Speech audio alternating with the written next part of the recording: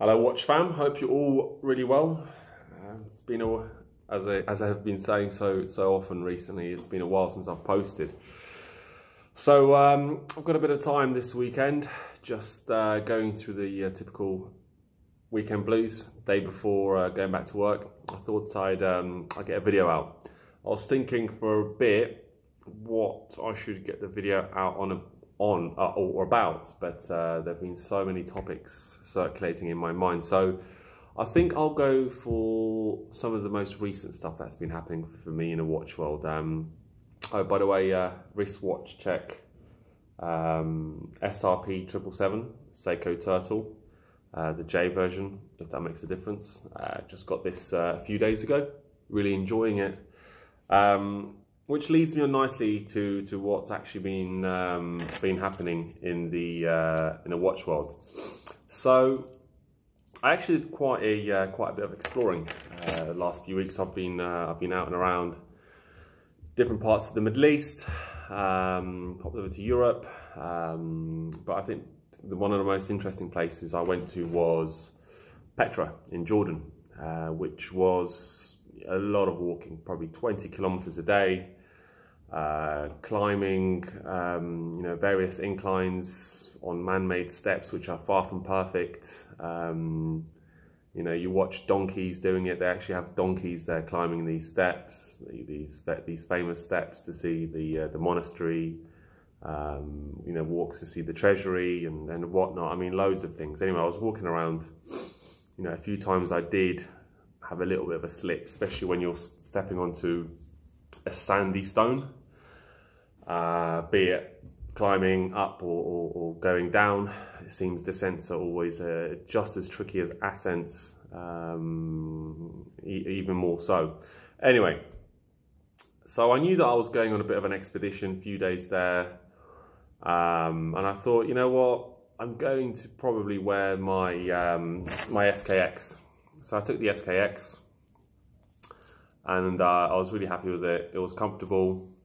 On the fly, I could have really done with having a, an adjustable bracelet. I could have probably stopped somewhere and, and used a used a toothpick to maybe give myself an extra slot there of space. I, I had swollen up when I was uh, walking in the 35 degree heat uh, all day long. I mean, uh, this bracelet was was on its limit. Um, but it, it, kind of just made me think, you know, there were a few times where I did, I think, graze this watch, um, you know, against the slope, you know, if I was competing to uh, climb the same stairs as a donkey, which did happen, you know, there's a someone riding a donkey up the stairs that you're climbing. But uh, it's held up pretty well. To be honest, I haven't really inspected it. Um, it's not a watch where, you know, you're worried like for example, if it was a Rolex, you know, the general generally most of us will will feel when we knock a Rolex and we'll we'll sit there like this, like oh shit, what happened, you know. But I didn't really care about this one, you know. It's what is it? It's uh, a hundred dollar watch or two hundred fifty dollar watch, whatever it is, and I just it was just nice to have this, fling it around, like didn't really care. And it's it's after I got back from Petra in Jordan, I thought to myself, you know, if I was to do that all over again, if I was to go somewhere else now, some other expedition or some other sort of, um, you know, area where I need a watch, that would be a tool watch, and that one I one a watch that I won't be so bothered about should something happen. What would I do? Would I go for for an Explorer two? Would I go for you know something that's been marketed for me to be an Explorer, or would I go for something which I really enjoy but something happens, something happens. And I thought to myself, it'll probably be a Seiko again. Um, you know, I'm going to try to stay away from from Rolex watches in this particular video. Some of you will probably uh, automatically turn off in that case. I don't blame you. That's probably what I would have been like about a year or two ago. I just wanted to uh, increase my um, my coverage of Rolex as much as possible, certain different models and whatnot. But but what happened? So I think I've, I've entered a bit of a, uh, a rabbit hole in the Seiko world. I was looking at it from a horological standpoint, and I just find for true watch buffs, you know, put the investment thing to one side now. You know, buying your Rolex and you're happy because you know that you bought a Rolex at the authorized dealer and it's worth more now than you bought it for. Put that to one side. Fact is, we're just buying Rolex watches which are being reissued or new versions of older versions, like the Pepsi, for example, and whatever. And they are fantastic watches. I love Rolex. I'm not saying anything bad about it. Um, but when you look in the Seiko world, you just take a moment to just maybe find the the true watch buff in, inside you. You just do find that they have such an appealing uh, variety of watches. I remember myself as a kid, uh, maybe when I was six, seven, eight years old, I used to flick through the kind of an Argos catalogue. So I don't know for my American audience or international audience, what is an Argos catalogue? I don't know. It's like a department store catalogue where you can buy watches, you can buy things for your pets, you can buy wardrobes, you can buy, it's like a mash of electronics, IKEA, everything together. You just sit there and you just look through the Argos catalogue. I used to always browse the Argos catalogue when I was a kid, and I used to always, I think, look at Seiko watches and Seconda watches, and I, I just always liked watches. Different watches, you know, chronographs, no chronographs, etc., etc. Anyway, so the reason I kind of started to, to like Seiko was probably I, I knew that they were a Hardy brand, and I know that they are an older brand. They actually are older than Rolex. I think they're from like the mid 1800s, mid 1850s, 1860s. About the same time fax was invented, so very old watch.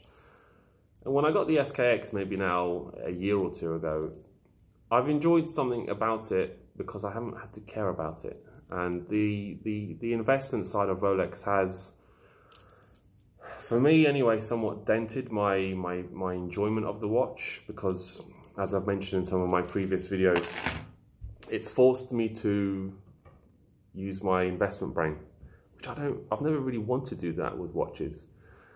So I kind of, I've been on this kind of Easter egg hunt for watches that aren't really Rolex. I mean, it, it doesn't help the fact that I can't actually buy any more Rolexes in the Middle East. The local dealer here, Ahmed Seddiqi, has pretty much blacklisted me because I've picked up all these sports models and they won't actually sell me anything else.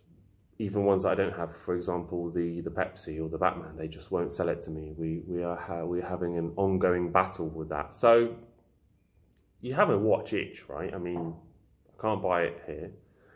I'm not traveling to different places to Europe a lot now, to, and I know I won't be able to buy Rolex there. So you got the watch it, you think, well, what other watches are there? And um, I don't want to go into the sort of field of just buying any old watches now and, and, and ruining my collection, but I did feel that my collection needed something a bit more pure and hardy and cheaper. Um, not necessarily meaning worse, just cheaper, just different, you know? You know, let's let's let's compare a um, a 911 Porsche, which is the standard comparison for a Submariner. Let's compare that to, for example, a um, an old school Honda Civic Type R. You know, fantastic Japanese engineering, naturally aspirated. This is for the engine buffs. Reliable, high revving, does does the job day in, day out, doesn't let you down. Fantastic gearbox, everything is synchronized that's kind of Seiko. Um, you know, a few people around me, they're, they're confused, like, Mike, what are you doing? Like, Seiko? And, and then I say, I say a few things, and they're like, oh, I didn't know that.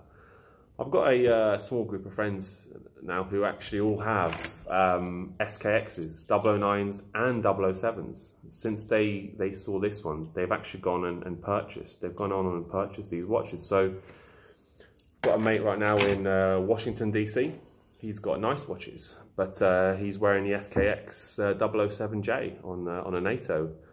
You know, the fact is that you know, there is watch crime, there is theft, so you have to be a bit careful. But it looks wicked. It looks really nice on him.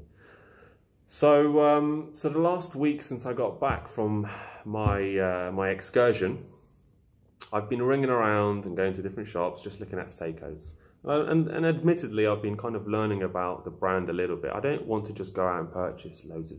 You know, some of the Seikos I flat out don't like. I don't like the green fake Hulk one. I don't like the the Batman wannabes. I don't like all that rubbish, all the chronograph stuff. I, I, I admire the technology they have in a lot of their watches. For instance, the solar charging watches. I think X amount of time in the sun gives you 10 months of, of charge. That is amazing. Amazing. We have all become so, I don't know, Hans Wilsdorf, you know, the, the founder of Rolex. We've all been so Hans Wilsdorf and Rolex that I guess the people I'll be reaching out to maybe are actually a smaller segment than, than, than we all would care to imagine. But as I said in my previous video, you know, where we're not competing with just watch buffs or, or watch enthusiasts, we're competing with investors in terms of getting the right Rolexes or the Rolexes we want now. You know, people who never cared about watches now feel comfortable to buy watches because they know that they won't lose out value wise. It's like, oh, I've never been into watches, but I can buy a, you're telling me I can buy a Rolex Batman or a sub and I can sell it for extra 20% or, or 30, 40%. And it's like, yeah, it's like, oh, okay, I might as well pick one up. That's your buyer. Doesn't come from any horological kind of um, background. It's just like, oh, money, money, money, money, dollar signs, dollar signs, dollar signs. I can wear it, looks nice, dollar signs. The sub and, and Rolexes, they, they were never really about that, maybe to an extent, but nowhere, nowhere near to what it is nowadays. So without me trying to obviously sound like I'm justifying my Seiko purchases, I guess I'm just trying to maybe justify my Seiko purchases. Um, I wanted something a little bit purer and something that tickles my interest at heart a little bit more. You know, I've I've done the whole Rolex game. I've got the ones I want. Um, I would obviously like to add a, a GMT Master 2, um, but that won't be happening for me in, in, in this country. So I'll, I'll reserve that for another time. So for instance, I picked this up, which funnily enough, this was the last SRP 777 in the UAE. This one. That's it, it's finished. There, there aren't, there aren't, they aren't getting any more in the UAE. I got it on a black rubber strap and, and whilst I was in the shop, I um, I said, look, have you got any straps? Because I couldn't be bothered to do the whole Instagram ordering nonsense. So I looked at some and they had this one. I just picked it up as well. And I've really enjoyed it. It's it's not supremely expensive. It's it it's very smooth to turn. It keeps time really well. I haven't timed it, but a lot of people online report that it's within five seconds a day. Um, everything is is intact. It's it's it's nicely set out the size is nice, the, the case is nice. Really enjoying it. And I was surprised to, to see how difficult it is to get the SRP 777. Um, apparently this watch is now being replaced by a different watch from Seiko, which will look exactly like this watch, but it's going to be renamed and it's going to be around double the price that this one was. Um, so I thought, you know what, it's not like I'm buying this watch to make money. I'll, I doubt I'll ever sell this watch. Maybe one day I'll give it to my dad. He's not really a watch guy, but he likes a nice, reliable watch. So who knows? I'll, I'll see how I feel. So that was all after my Jordanian Petra visit. I had been back in Dubai a week. I, I loved how this guy held up. I thought, you know what, I'd like to add another Seiko, just in case. And after I added this Seiko, I um, I started looking around what other kind of rarer Seikos without going vintage and all this. I mean, this one is based on I think a Seiko 6309 or something like that. Uh, it's a re-release, 42 mil. This is a 41 mil. No, this is 44 mil actually.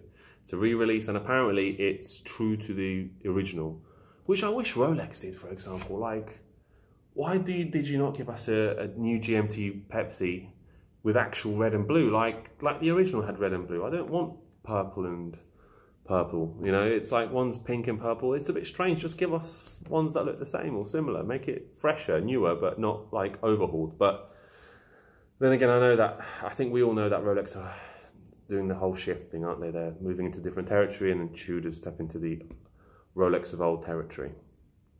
Um, speaking of Tudor some hard marketing now during the Rugby World Cup. Every time I, I look somewhere, you know, when I'm watching the rugby, it's like Tudor, Tudor, Tudor. The All Blacks Tudor. It's, uh, I mean, there are some nice All Black Tudor watches now, but I'm not really buying into it. Anyway, so back to um, my kind of watch fiasco. So I picked up the Turtle 777. You know, there's a there's there's another one which is Save the Ocean, which is blue and all that. But I just didn't want any of that. I didn't want to get into it. I, I don't really want to have a collection of Seikos. I'm, you know, I, just only ever planned on having one Seiko. Um, and then I realised that there are actually quite a few cool ones. But anyway, added this one, and I I looked around, and apparently in the US and Europe, it's difficult to get an Arabic dial Seiko. And it got me interested because I started reading up about the Seiko 5, the Arabic dial one. And I, uh, I, I rang a few stores in the Middle East and I said, have you got this particular watch? They said, for the size I'm looking for, which is 42 mil, they said they've only got two in the, in the whole of the UAE, which is, um, it's got like Abu Dhabi, Dubai, Sharjah, all that involved in, in the one country. I said, where are they? They said, um, they're, they're in well near where I live. So I uh, I uh, I was down there pretty quickly. Not expensive at all. Same movement as the SKX, and I picked up a um, an Arabic dial. I have no idea what this is even called actually, but um, SNP something 21J or something like that. Pick this bad boy up. And I hated it on the bracelet and it's not a watch which I envisage wearing often, but even the sort of exposed case back, uh, which, which is there, I just can't be bothered to re remove the NATO. It's a very interesting watch. I don't read Arabic, um, and I, I don't think I ever will read Arabic, but for me, the Arabic dial just looked interesting because it just has something different about it.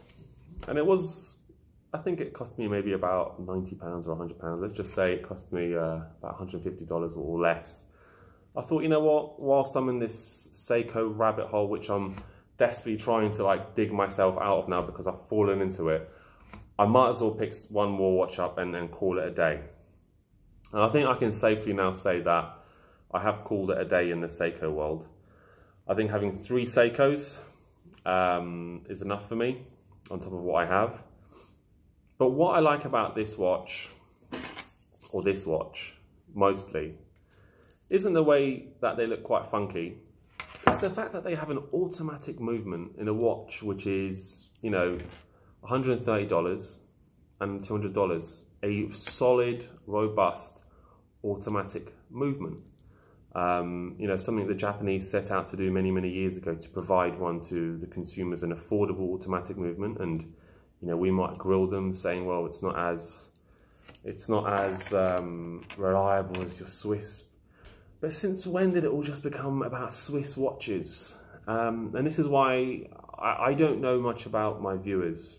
I can only base or judge my viewers based on the fact that I have only pretty much posted about Rolexes, some stuff about Tudor, some stuff about Panerai or Panerai video I had, I actually deleted that video. Um, I can only judge you guys on that. And, you know, in the comment section, I probably will get quite a few comments saying, why are you going down this route? Or, no, you're like, you know, you're Rolex all the way. And I always will like Rolex. Um, to be honest, my Sea Dweller, uh, I think it's somewhere upstairs. I haven't, I haven't, uh, actually I did wear it yesterday for a short while because yesterday was one of those days where I think I wore about three or four different watches because I was just comparing them all. But before that, I hadn't worn it for a while. Um, I think from next week I might get this SD50 back on. But for now, I'm enjoying the uh, this 45 mil SRP 777 turtle.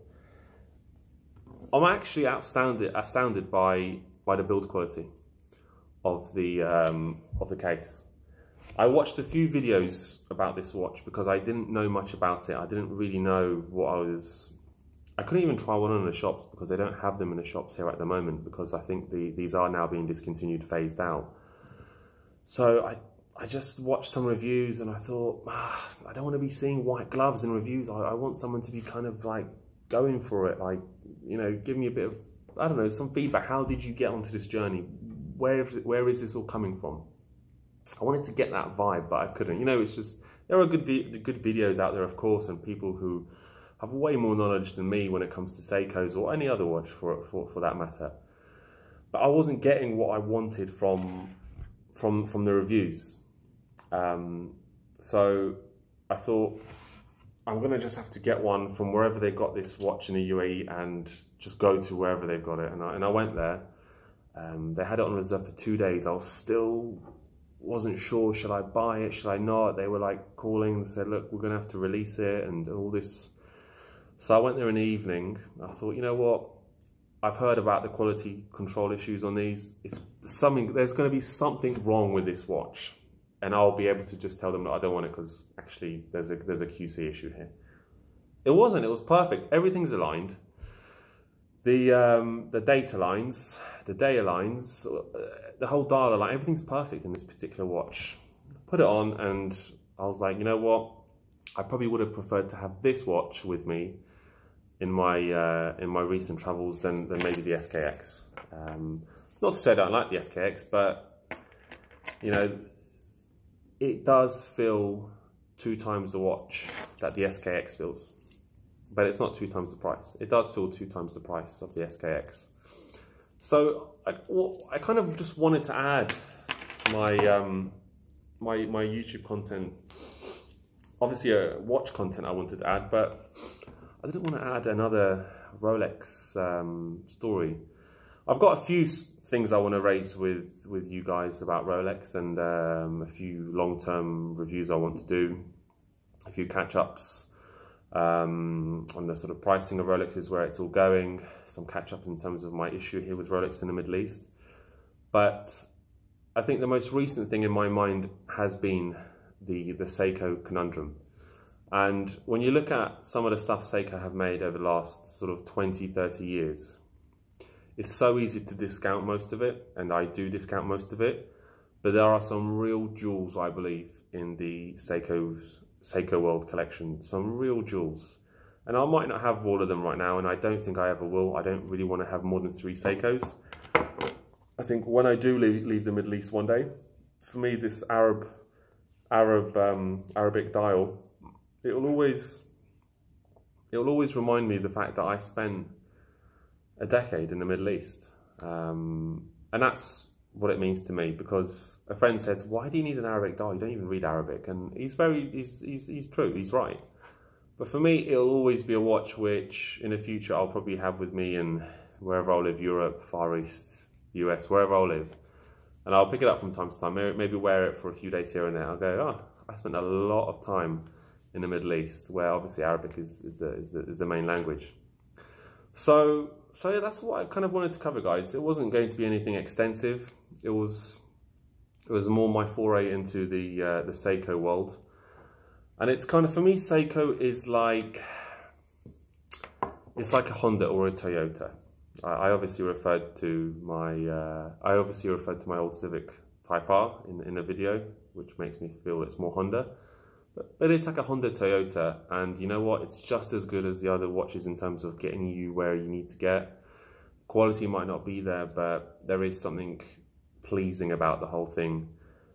Um, about what, what the Japanese were able to do, what they were able to accomplish. Um, you know, in, the years when the Swiss were just going like this with, in the watch world, uh, and they wanted to create automatic stuff for the everyday man, you know, the everyday person who isn't going to be spending thousands and thousands of dollars see, mentioning that, when I was looking at these watches, which are, you know, $100, $200, they had the Grand, the Grand Seiko stand.